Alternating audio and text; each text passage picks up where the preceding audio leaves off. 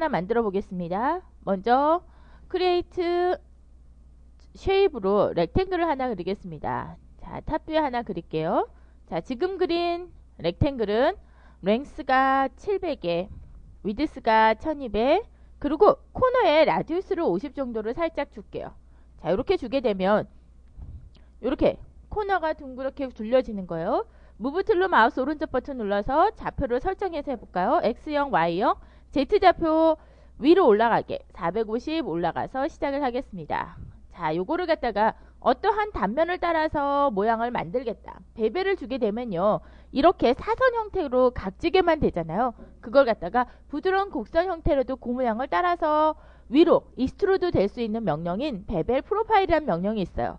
create geometry rectangle로 자, 요 옆에다 그리겠습니다. 일단 크기를 지정해서 시작을 해볼까요?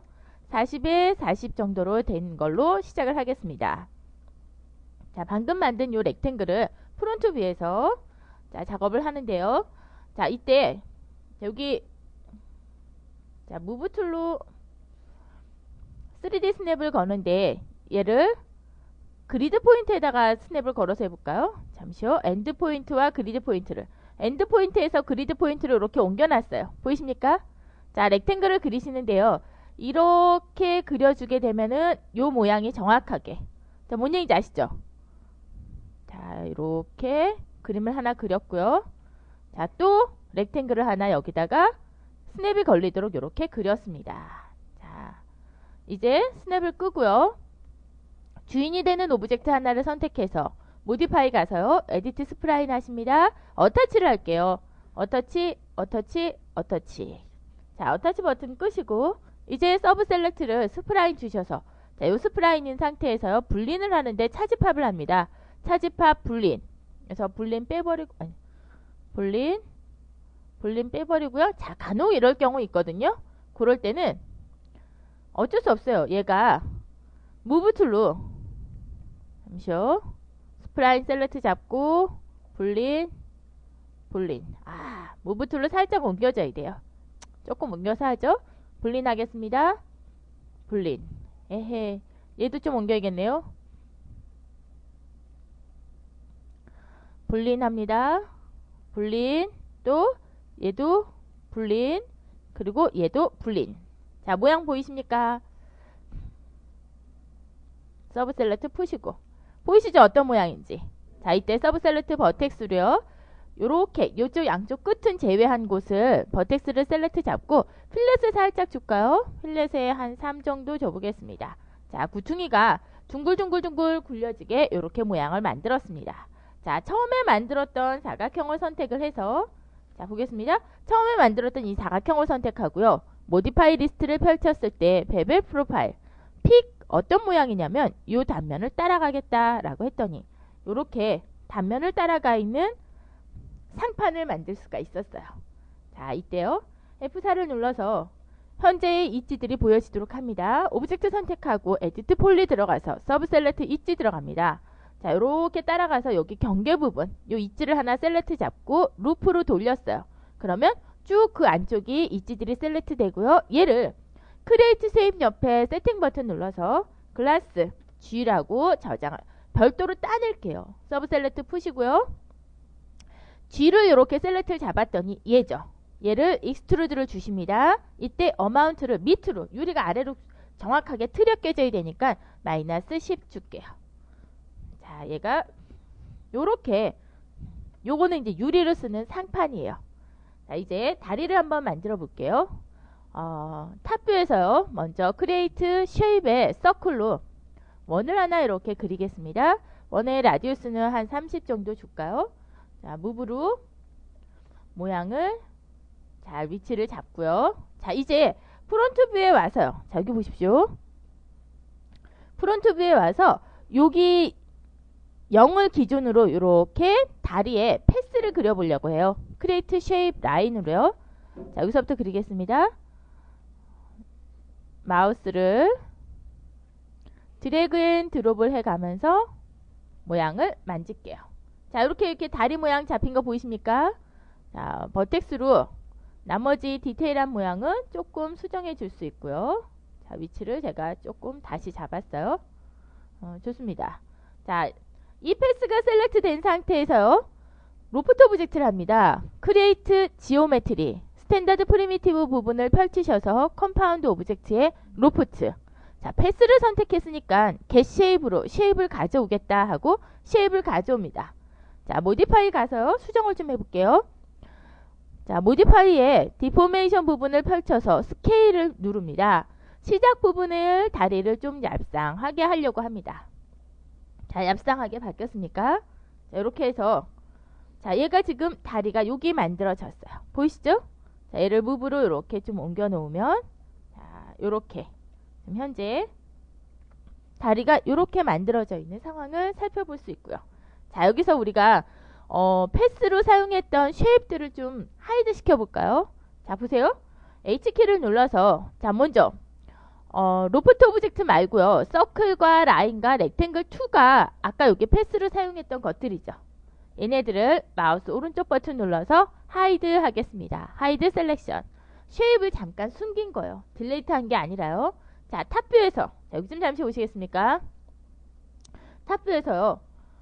자, 보세요. 여기 다리를 여기 다리를 이쪽으로 mirror를 하려고 합니다. 근데 여기 중심을 좀 잘 한번 맞춰보고 싶어요. 그래서 자, view를 펼쳐서 pick으로 여기 상판에 있는 얘를 하나 찍었습니다. 자, 찍혔고요. 자, 그 다음에 object를 선택해서 자, 그치만 자기 중심이죠. 요거를 유저가 지정한 걸 하겠다. use 코 transform coordinate center. 자, 세 번째 얘를 선택한 상태에서 mirror tool을 누르고요. 자, 보십시오. X축으로 instance. 그대로 복사, 쌍둥이 복사죠? 오케이. 자, 이제 다리 두 개를 select를 잡은 다음에 object가 한 개가 아니라 두 개 이상 선택이 되게 되면 선택한 object의 중심으로 바뀌어요. 중심 자체가. 요거를 다시 한번 유저가 지정한 중심을 사용하겠다라고 한 다음에 mirror를 하십니다. Y축으로 instance 오케이. 자, 그때 다리가 하나, 둘, 셋, 네 개가 잘 만들어졌죠. 자, 이렇게 해서 우리가 다리까지 만들었습니다. 자, 이제 이 다리를 이렇게 붙잡아 매주는 철물을 한번 만들어 보도록 하겠습니다. 자, 그 top view에서 합니다. create shape에서 rectangle 그리시는데요. 다리를 어느 정도 감쌀 정도의 크기를 여기서 가늠을 해서 아예 처음부터 시작을 하시면 좀 더 편합니다. 자, 이렇게 해서 rectangle을 하나 그리겠습니다. 이때 이 rectangle을 move tool을 마우스 오른쪽 버튼 눌러서 X좌표 0, Y좌표 0, Z좌표는 테이블이 450이니까 한 300 정도 한번 올려볼까요? 자, 얘를 전체 view는 view로 가서 아, 아 rectangle view를 기준으로 해서 그렇게 올라가졌군요. 다시요. 자기 중심을 기준으로 해서 move tool 마우스 오른쪽 버튼. 자, 750이 아니라 300 정도로. 자, 이렇게 테이블이 형성이 됐습니다. modify 가서요. 자, corner radius를 한 30 정도로 코너를 좀 둘릴게요. 그 다음에 rendering을 펼쳐서 enable in renderer, enable in viewport. 자, perspective view를 좀 크게 놓고 한번 살펴볼까요? 자, 보십시오. 이때 thickness가 너무 작아서 잘 안 보인 거죠. thickness를 10. 자, 그리고 나서 이렇게 투시뷰에서 얘가 넘쳤나 부족하나 라고 살펴보시면서 크기를 조절하시는 거예요. 자, 랭스는 줄이고 자, 랭스를 줄여야겠죠. 여기 모양을 보시면 랭스를 좀 줄이고 위드스를 좀 넓히고 자, 이쪽으로 돌려서도 한번 보시면 네, 좋네요. 자, 여기가 랭스와 위드스가 이렇게 잘 테이블을 붙잡아 맬 수 있도록 모양이 잘 잡혔습니다. 좋습니다. 자, 이제 얘를요. front view에서 조금 더 정리해 볼까요? 얘를 shift 키를 눌러서 이렇게 위로 복사를 했습니다. instance 복사 말고 카피 복사를 해야죠. 왜냐하면 instance를 하게 되면 생성 변수를 수정할 때 같이 수정이 됩니다. copy로 해서 오케이 수정을 했고요. 자 위에 object를 가지고 length와 width를 조금씩 늘려서 바깥으로 모양을 자 여기 미리 보기를 보시게 되면 위드스도 조금 늘리고 자 투시view에서 한번 보겠습니다. 아 length가 너무 많이 늘어났군요. length를 조금 줄이고 그래서 얘가 투시view를 이렇게 보면 이때 투시view만 보는 것이 아니라 어, pers, 그 front view, left view를 같이 동시에 봐주게 되면 훨씬 작업하기 좀 편리합니다. 자, 이렇게 모양을 좀 위치를 잡았습니다. 네, 좋아요. 그래가지고 이렇게 두 개의 띠를 잡았고요. 자, front view에서 circle 한번 그려볼까요? create shape의 circle을 그리는데 여기 가운데에다가 circle을 그리겠습니다. 자, 이렇게 해서 circle을 여기 모양을 잘 잡을 수 있는 circle을 적당하게 그립니다. 자, move tool로 위치를 정중앙에 잡아볼까요? x, y가 0이면은 이렇게 중앙에 잡히겠죠? 자, 그 다음에 전체 view에서 자, top view에서도 얘 위치를 잡습니다. 위치를 이렇게 잡아줘요. 자, 모든 view를 모든 view를 다 이렇게 돌아가면서 보시는 거예요. 자, 근데 얘가 자 보세요. 요렇게 그려진 얘가 조금 기울임이 틀리죠. 자, 이건 일단 한번 그려 여기서 그리지 마시고 잠시만요. 여기서 그려서 시작을 다시 해볼게요. 자, circle을 그리십니다. circle을 left view에서 중앙에 이렇게 그렸습니다. 자, move tool로 옮겨볼까요? 이렇게 라인과 라인 사이로 잘 옮겼어요. 자, front view를 와가지고 이렇게 살펴봤더니 이렇게 지금 object가 그려졌죠. 자, move tool로 잘 연결되도록 옮기고 자, 되겠습니까? 어, 조금 더 옮겨서 모양을 잡고요. 자, 여기서 해볼까요? 얘를 shift 키를 눌러서 이렇게 옆으로 복사합니다. instance 복사할게요. 오케이. 자, 얘도 마찬가지로 shift 키를 눌러서 옆으로 이렇게 복사합니다. instance 오케이. 지금 복사된 object 3개를 자, 이렇게 select를 잡고요. 자, 얘를 shift 키를 눌러서 이거 move가 되네요. 다시 shift 키를 눌러서 옆으로 select가 자, select를 3개를 잡고요. shift 키를 눌러서 옆으로 복사해 가겠습니다. 자, 이렇게 복사해 가셔서 instance 오케이.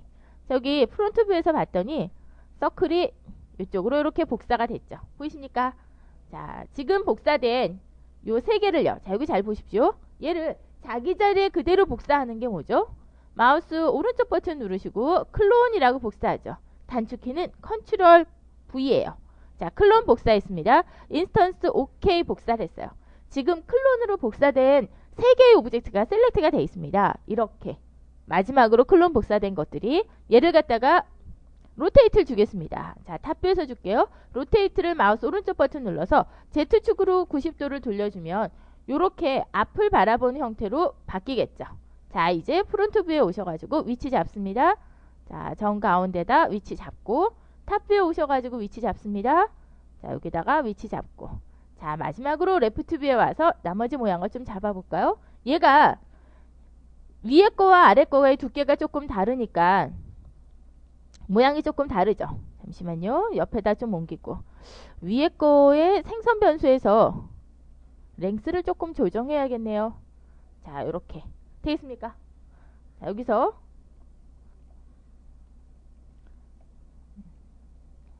자, object들 select 잡고 여기서 위치를 정확하게 잘 잡습니다. 예, 좋습니다. 자, 이 녀석을 저쪽으로 좀 복사해 가볼까요? shift 키를 누르고 이렇게 끌고 가서 복사하십니다. instance 오케이. 확대를 해서 한번 살펴볼까요? 예, 좋네요. 복사 잘 됐고요. 자, 이렇게 해서 모양들을 일단 잘 잡았습니다. 자, 이제 재질을 한번 줘보도록 할게요. material editor 대화 상자 열겠습니다. 아, 제가 만들어놨던 거라. 자, 첫 번째 sample slot에는 diffuse 빈 map 버튼을 누르시고 bitmap으로 wood 재질을 집어넣습니다. 빈 slot에서 다시 한번 해볼게요. 자, diffuse 빈 map 버튼 누르시고요. bitmap으로 자, material에 있는 wood 여기에서 wood 재질을 하나 가져가 보도록 하죠. 예로 갈게요. 부모로 와서요. specular level 빛을 좀 주겠습니다. 빛을 조금 강하게 주기 위해서 얘는 좀 낮췄어요. 자, 얘를 갖다가 상판을 선택해서 assign. 자, 화면에 안 나타나는 이유는 주사위. show map in viewport가 체크돼야 되고요. 자, 두 번째 sample slot. 얘는요. two side, 두 면을 하면서 diffuse에 내가 유리로 쓰여지는 칼라를 선택합니다. opacity, 투명도를 저장, 지정합니다. 40% 정도 할까요? 뒤에 배경을 보겠다라고 하면 어떤지 알 수 있죠. 그리고 specular level, 빛을 좀 주겠습니다.